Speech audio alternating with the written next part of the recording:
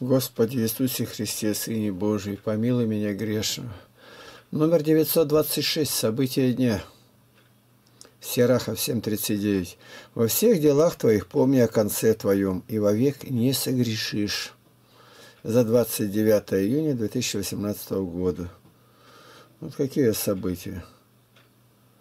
Накануне отвозили щищу на костер, когда достаточно будет людей, на пятницу – я посмотрел оттуда, и наша самая высокая башня, смотровая, наклонилась.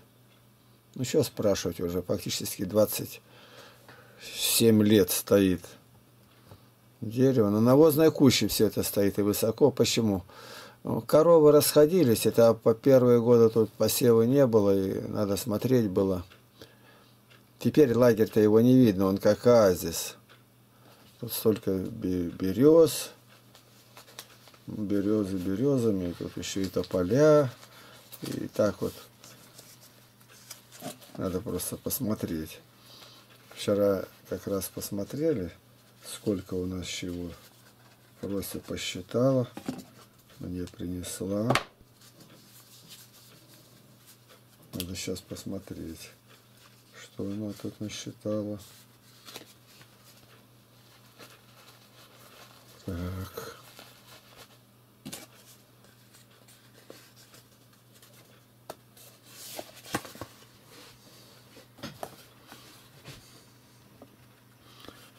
Высота башни 6 40 80, наверное, такая. Высота голубины, которая здесь, первая, 9,6. Вокруг лазеря 20, лагеря 22 березы, тополей 17, ветлы 3. Так, сирени 2 куста, Шеремухи два куста и клена одно дерево. Всего деревьев 62. Ну, это 9 соток. Ну, если этим даже 16, захвачена там вся куча. 62. Его не видать в лагере-то, ничего. Вот эти какие данные. Вот это надо на этой стройке все это погубить, сворочить, смешать. Это уже не, не просто так, а даже за пределы здравого разума, никто никуда не возьмет, и все это будет торчать. И, ну, еще как будто шутка какая-то. А я приеду, сломаю у тебя все. Ну, что сказать, хулиган. Хулиган, и Бог тебя накажет, это кто-то на это решится. Все-таки не игрушка, 45 лет лагерь стоял. Всякие-всякие были здесь. И замыгло, даже полковники приезжали из ФСБ, и о том, что сломать надо, это никого никогда не было. Это какое-то безумие сегодня. А вот я дам указ, и кто-то должен сломать. Дам указ, можно убить, так можешь до чего угодно договориться. А какой твой указ? Еще не делал ты. Так, как про потом по говорит, а прыщ на ровном месте. Протопоп Авакум говорит толстые рожи. Ничего нигде нету, не оставляет следа. Разрушители, профессиональные разрушители. Какие тут разъезды, дома были. И вот здесь э, склады были. Все разрушено, и кусты, чтобы никто не видел. Эти блоки утащили. Огромная техника. Ломать не строить, душа не болит, поговорка говорит. Ясно дело, что подготавливают место для другой нации, другим жить как при отступлении перед нападением врага. Все уничтожается, и ничего нельзя сказать. Ничего, кроме как только молиться и взяться за голову и качаться. Ой-ой-ой-ой, куда мы попали, что с нами есть. Ну, вот так. Тогда мы пошли туда, взяли вот эти проволока, шестерка, к пасынкам бетонным привязывают столбы, привязывают, прикручивают. Ну и вот три таких связки мы раскрутили, снятые там, где столбы уже эти убрали. Ну, в общей сложности мы на 20 метров ее проволоку раскрутили. А потом там давай ее обхватили башню, это наклонилось, ее ничего уже нельзя сделать. Да и кому? Коров смотрели, коровы не, деревья вокруг ничего не видать. Потом там дежурный у меня был, смотрел коршуна, чтоб сусликов спасали. Детей приучал к порядку, любить природу. Сейчас ничего нет, и лагеря нету, раз лагеря нету, и башни нет, и а она представляет опасность, как Пизанская наклонилась. Немножко, чуть-чуть наклонилась, но это уже, ну, навозная куча стоит. Под ней больше метра навозу, а навоз это же не тут твердая земля. Навоз, обыкновенная куча навоза, на чем мы находимся. Так что кто указания дает, он просто введен в заблуждение. Нет ни, ни, грамма земли, ничего не занято. Память. Стирание памяти в народе. Манкурты. Вот он манкурт человека, если он желает, чтобы они такими же были. Запредельно далеко, безбожие. Встает человек, идет, э, если он ни лба не перекрестит. То есть там демоны гуляют, полчище, шабаш нечистой силы. Кто, где, как, где уничтожают, везде считаешь, в городах, вот тракторный завод, Рубцовский, везде ужас один. И вот мы ее башню эту обхватили кое-как. Вызвал я Игоря Барабаша, он дернул, и все упало. Теперь вот Сегодня суббота, 30 июня, и думаю, надо на боку ее теперь размонтировать специально. Саперные ножницы есть, перекусить там, где проволока связана. Ну, размонтировать надо, взять пилу такую, так она от горючего работает. И подготовить, потому что думают приезжать гости на несколько дней, они будут здесь. Это что тут? Утро раннее, Володя звонит. 4.42 на 2 минуты опоздал. Вот дает знать, что он встал и меня разбудить. Ну, я уже на ногах, на улице побыл, посмотрел. И вот это мы ее свалили. Это важное для нас событие. А потом я гляжу около тут, если напрямую по перпендикуляру, ну, два с половиной километра примерно, даже три поезда идут. А тут что-то там стоят и стоят они. Я говорю, Володя, давай поедем. Мне охота была, он там косил где-то. Я говорю, ну, ну охота, не охота, надо, одному-то мне неудобно. Поехали, все засняли. Володя снимал, я там комментировал немного, ремонтирует, как у них все обдумано. О, и прямо по линии все снимают и убирают с рельсами, шпалами. Все это новое ставится. Идет техника, бульдозер, грейдеры. Ну, техника. Все посмотрели, засняли, вернулись. Володя на свою работу. Вот дальше все в огороде там прополка идет. Это для нас очень важное событие. Потом уже дело к вечеру, ну там 4 часа 5, я позвал Володю в комнате навести порядок. Вот, но не, не столько вещей, тут я посмотрел, все не мои вещи-то я живу.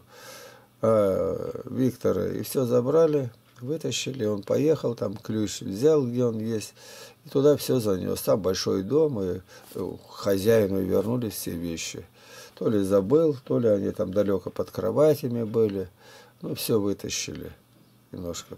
Это событие дня для нас. Мы много времени потратили, и надо мной, как сказать, палате над койкой.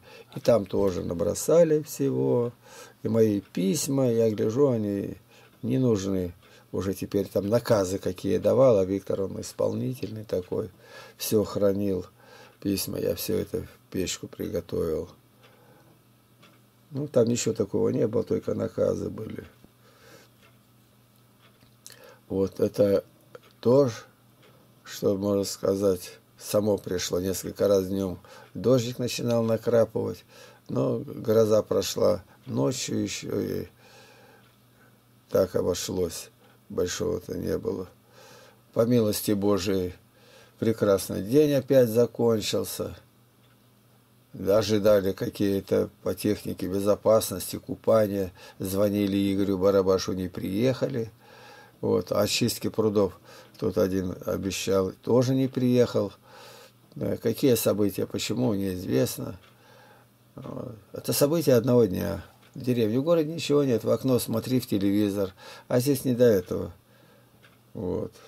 И помощник у меня тут один заболел, сильно заболел, и только молились. И милостью Божией остались все живы. Вот. Смотреть за детьми приходится. Сергей Горохов пишет. Мир вам, Игнатий Тихонович. Нашествие мошки не только у вас, о ней пишут и в Белоруссии, и в Волгограде. Даже болельщиков на стадионе кусают. Пишет, что этот гнус опасен тем, что не сосет кровь, а грызет тело, выделяя туда яд. Вот это я верю. У меня все распухло на руках, и я привезли лекарства с города. Я не прикоснулся к лекарству сметаной Четыре раза помазал за два часа до сна, все сошло, лицо опушее приняло нормальный вид, и на руках и везде эти язвы, прям язвы, это не заживает-то. И все зажило, и ничего нету. Может даже умертвить животного, залепив ему дыхательные пути. В это верю. Размножились они из-за теплой весны и влажности. Им обязательно нужен рядом водоем. Да не обязательно. Ну, ну, рядом водоем. Ну, вот говорите же где, даже болельщики там, какой там водоем. В лесу здесь бываешь далеко, никакого водоема нет. А мошка далеко не летает, она рядом. Нет, просто Господь насылает. Да, причины на, найдены где-то. Кара Божья. Кара. Им это что? На рукавнике, я печник, на рукавнике, чтобы рукавица, а сверху на рукавнике. И они прям везде пролазят, а тут не могут это. И на комарнике. На комарнике это сетка к пчелам ходить. И так вот работаем, мы даже не очень-то сильно занимают, занимают они нас. Может быть, от этой мошки или от жары голуби рады были под половицы залезть, да. Может быть. Посмотрел в интернете про драглайна. Они теперь самые разные бывают. Длиной стрела от 7,5 метров до 100. Ну, видимо, ошибка. До 10 метров. До 100 метров таких э, э, стрел нету и не может быть. Даже не может быть. Но когда стал смотреть, как чистят водоемы с рыбой, то драглайна почти никто не использует. И копают обычным колесным экскаватором или с плоти, с плота насадкой типа насоса-пылесоса. Но это, видимо, больше от ила чистят так. В любом случае, вам надо быть готовыми хотя бы частично осушить пруд. У нас это ничего не подходит. Если осушили, значит, ее туда тонны, прорыв такой вода сделает, и глины не достать, и пруда не будет. А лучше осушить полностью, прокопав часть дамбы. Это не картинка, а прокопав часть дамбы. Вот так. Зато все рыбу соберете, и видно будет, как нос планировать лучше. Ничего там не будет, не просохнет, и ничего, не, ничего это не годится совершенно. Никак. одинаковую глубину ведь не обязательно везде делать, а лучше где удобнее сделать обязательно зимовальную яму. А мелководье тоже нужно. Там в камышах любят пастись и прятаться мальки. Зато если осушите, то видно будет, где есть родники. На всякий случай посмотрите сами, если нужно, на ютубе, как экскаваторщики умело залазят в любые котлованы и вылазят из них, отталкиваясь и помогая себе ковшом. ну, может быть, там твердое. Тут 200 лет никто не чистил. Он уйдет с кабины в этот ил. 200 лет никто не трогал. Тем более у вас там корней деревьев и камней, скорее всего, не встретится. Корни там, может, и встретятся. А если увязнет, то просто вытащить. Увязнет, просто вытащить можно. Тросом, тросом. Не просто, а просом. Нет, не вытащить, ни троса, ничего нет. Погибла техника. Их, ни, никак. И вытаскивать нечему у нас. А это абсолютно для нас не подходит. Если твердо решили углублять водоем, то спускать воду уже сейчас нужно, чтобы вода успела уйти и подсохла. Немного. Для эскаватора, или драглайна.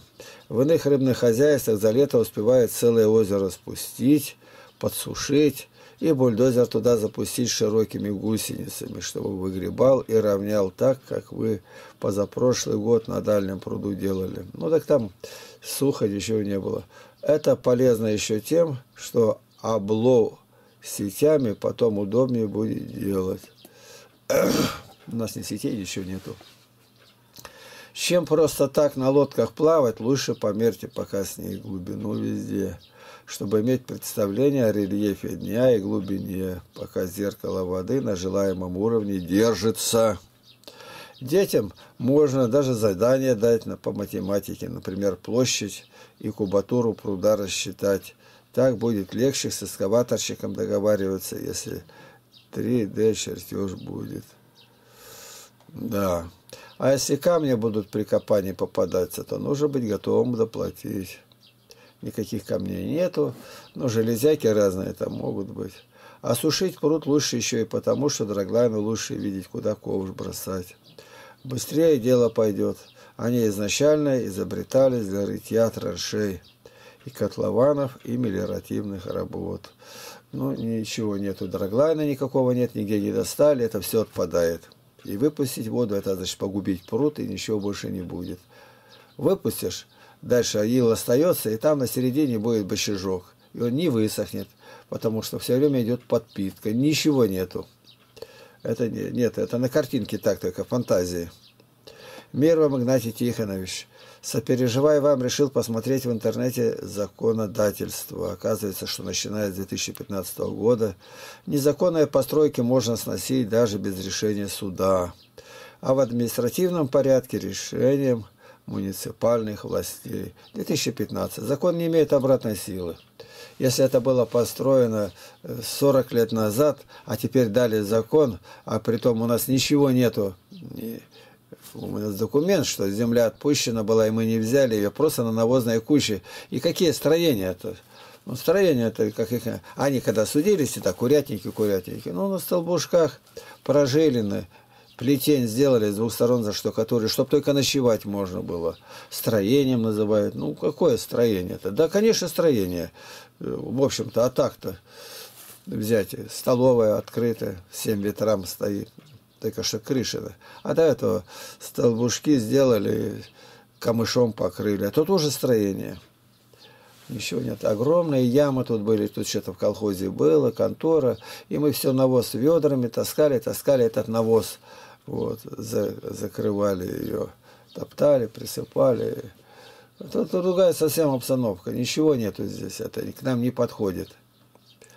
Вот. Вначале они давали мне землю, когда 90-м году. Я тут думал, нашелся, вроде бы сказали, нашли спонсора. Большие корпуса построить и на несколько сот человек. Да, стата человек у нас было, по 120, а больше нет, и спать негде. А это так построить, все с подвалами, и большие корпуса, и чтобы соответствовало всем нормам. Ну, тут же перестройка началась, все по боку. Ничего нет. 91 год уже пошел, все куролесить. И поэтому мы не взяли ничего, ни грамма, ни земли, а просто на навозной куче рядом с пастухами корчинские. Пастухи тут метров от нас, может быть, 70, больше-то нет. Избушка у них, у нас хорошие отношения были. Вот. Правда, они должны предупредить в течение какого времени владелец должен сам ликвидировать. Кого? Чего ликвидировать? Ничего нет. Тем более это намного раньше было. И стоят мазанки на навозной куче. Это к нам никак, никаким боком не относится. Никакой земли не занимаем. Тем более на это у меня документ, что все подписали директор совхоза, и все. А я не взял ни одного гектара. 9 соток, 0,9 гектара на этой, на навозной куче. На навозной куче, что может быть круче. Вот. И только потом самим сносить. Сносить-то нечего там. Стоит и все. Память сносить. По мозгам ударить. Незаконными постройками считаются даже те, под которыми не оформлена земля. Ну, не знаю про это. Написал для того, чтобы проверили и знали, какое оружие у них в руках. Никакого нету. Безумие. Беснование. Больше ничего нет. Никакого оружия. Никакого. У нас документ, что мне дали, я даже не взял эту землю. И, повторяю, на навозной куче. Рядом фундамент. Рядом, тут же прямо на территории э, огорожены фундаменты домов, которые там были, ну, колхозные э, пристройки, там что, контора там была для молочной товарной фермы, неизвестно что. И блоки там остались, и пришлось мне машиной вытягивать их с этой территории. Там клубнику посадили. Ничего не относится, ни земли нет, ни построек каких надо. А это-то стоит, там кельи-то глиняные, ну что считать. А там архитектор должен принять. Вот. Бороться, конечно, нужно, что в наших силах. Ведь лагерные постройки никому не мешают. В который раз убедился, что земные законы избирательны. Когда, допустим, скажешь, а в ответ вот такой-то и такой-то тоже незаконно поступил, построил, то у них ответ готов. С ними разберемся, ты за себя отвечай. А мы ни на кого не показываем, не знаем. Мы не, относимся здесь ни захвата, ни самовольного, ни построек, ничего нет. Тем более земля это отдана Потеряевке, все эти постройки, ну, постройками назовем эти, как говорят, курятники, вот, для ночевки сделано, только глиняные избушки стоят. Самое интересное, что даже тоже бывает в некоторых монастырях, когда игумен похожей ситуации говорит, это его дело, ты за собой следи. То, что ты говоришь, нужно еще проверять а сам не проверяет, так как речь идет о начальствующем. Для себя часто вспоминая определение зла из точного изложения православной веры преподобного Ивана Дамаскина. Зло – это когда сам противишься воле Божией. А всякое другое, некоторое тягостное чувство, которого не желает душа, и которое люди привыкли называть злом, при ближайшем рассмотрении есть сущее добро – но пока это не коснулось тебя, ты будешь так рассуждать. А когда тебе каждый день будет травить, в огород залазить, морковку, только она зашла, на забор повесят, и арбузы все повыдерут, и ничего у тебя нету, ничего нету. И ограду разломает, и скотину запустят, и человеку придется просто уезжать оттуда, и ничего нет. Объявит войну добром, называй добром. Это все дома сидит когда, а ты на деле испытай, когда. У нас тут один фермер тоже все загородил, все разломали, скотину запустили, потравили, ничего нету. Ну еще выехал. Другими словами, если мы смиряемся, то Бог усматривает на нас нечто лучшее и не используем неисповедимыми путями промысла своего, получаем от него нечто большее. Ну да, конечном счете так и будет это дело. Ну, не так, что тебе, тебе зачем говорить добро? Это? Для тебя это зло, иначе зло, зло и дьявол одно слово. Они все разрушают. Все. Ложатся спать, они идут кирпичами в окна бьют. Ну, добро, добро, рядом ребенок спит. Бабка вышла в песочнице, там ребенок, а там наверху девятый этаж гуляет, бутылки кидает, не пластиковые. И кинули ребенка сразу убили, убили, мертвый совершенно. И теперь не найдешь, кто окна закрыли, не поймешь, какой этаж, какая квартира, кто гулял. Люди разошлись быстренько. И все. Добро считай добром. Единственный ребенок погиб. Это у нас тут такое событие было. Это мы за один день только рассматриваем события. Вот такое дело немножко сегодня новые поставил. Ролики пошли. Ну, можно даже показать наши ресурсы. Вот так. Мой мир. Я очень люблю эту систему. Вот она. Переписывать удобно. Вот Джек Восточный поставил Потеряевку сверху, как она выглядит. Вот это пруд. Ну, тут мелконько очень крупнее сделать у нас есть. Форум 1600 тем. Ну и вот, сегодняшний день немножко поставил. Ну что значит немножко? 9 роликов. На нашем, наши люди здесь 96, кажется, не вижу даже сколько. 56, консервация хрена, 117 за 39 минут. Тут на другие, на Рыжсковский, 50 просмотров. И вчера вечером уже ложиться спать, но я поставил, а то у меня под замками все снимать надо. Вчера вот это где-то тут что-то надо посмотреть. Ага, вот. Добрые сказки, 741. Добрые люди. У Бога всегда хватало добрых людей для защиты. 1875. Это председатель сельсовета, женщина Людмила Алексеевна. У ней на дому мы беседуем. И так вот. Техника какая-то тут. Милости просим на наш здесь ресурс. И вот во свете Библии.